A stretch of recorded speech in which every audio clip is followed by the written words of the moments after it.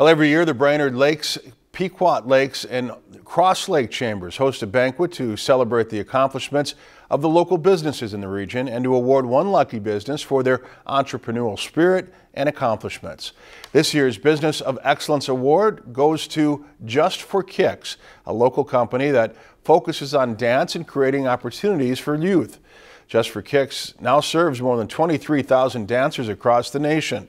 The creators of the company, Cindy and Steve Clow, credit their strong team and family values for the success of their company.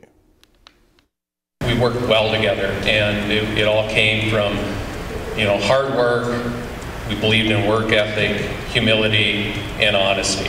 And because of all that, um, we've certainly had um, seen a lot of success, and, and we appreciate all that.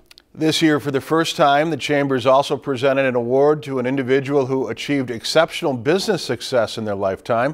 Stuart Mills Jr. was awarded the Businessy Legacy Award. Although he was not able to attend the ceremony, his daughter says he's honored for the recognition.